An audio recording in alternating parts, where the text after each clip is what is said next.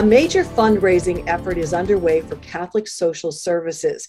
Today, I'm pleased to be joined by Neil Oberto, who is the Greater Hazleton Director of Catholic Social Services, here to tell us about the Century Club 2022 and this year's theme, A Legacy of Hope Through Service. Neil, thanks so much for being here. Tell us how important is this campaign for the services that you provide through Catholic Social Services? The Century Club campaign has been a part of Catholic Social Services, I guess you could say, giving opportunities, direct connection to the community since 1982.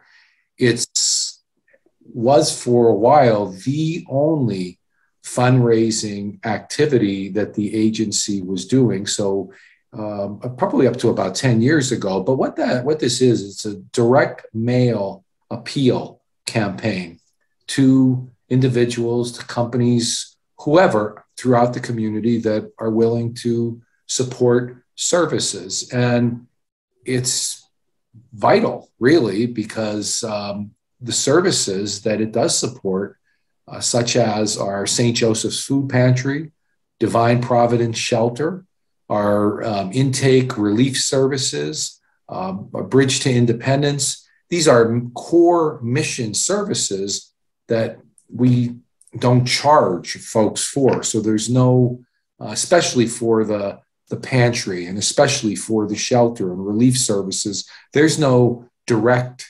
funding at times coming in, and so the fundraising helps to supplement, you know, what we're not getting through grants or other type of funding sources. So it's vital, especially in these challenging times how difficult has it been? How has the need increased for people uh, in our area, and is it does it continue to grow? Yes, yes, it does. And I'll tell you, you know, just that that theme, that legacy of hope through service. It's always been about service. Uh, throughout the pandemic and looking back, particularly with these specific programs, we were here the pantry didn't close, the shelter didn't close, the residential component, it's they're they're 24-7 and everything. The calls continue to come in for what we call relief or intake services. So if we weren't able to help people directly, we were doing the best we could to get others connected to other other resources and everything. So uh, yeah, it, it it seems like it doesn't stop and it seems like it does grow. And, you know, we try to look and work with others to respond to needs. There's no question about that.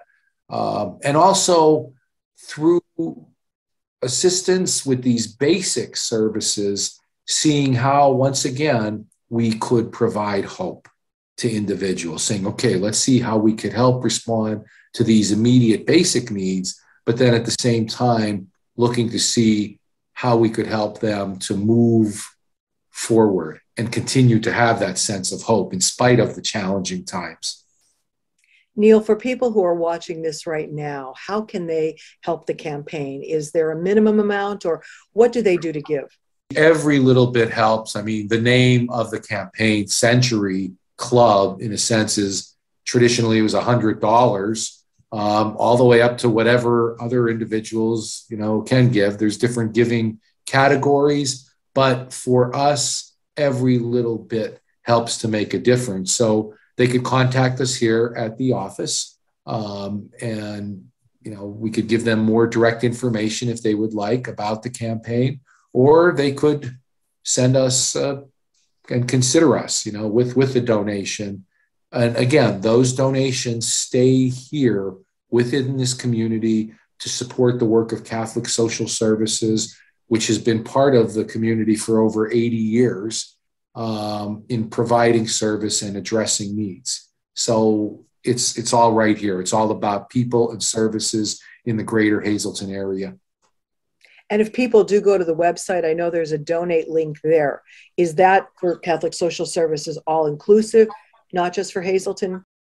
We're looking at making sure that there's a Century Club piece there. But in that link, uh, it actually mentions uh, St. Joseph's Pantry, it mentions Divine Providence Shelter, and it mentions relief services in, in the community here. So, you know, you'd be able to utilize that as well, which is which is a good option. So please, uh, anyone watching, if you're able to help out by giving to the campaign, please do so as soon as possible so that they can continue to do the good work. Neil, thanks so much for joining us.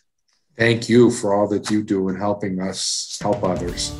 Today's news feature is brought to you by Falvello Law Firm. Have you been injured in a car accident? Call Falvello Law Firm. Your case is our fight.